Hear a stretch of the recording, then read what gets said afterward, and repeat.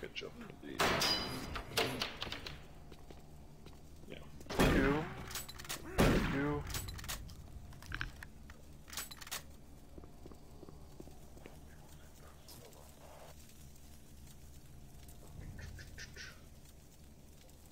I bet he's still alive. what the fuck? You. what the hell was that about?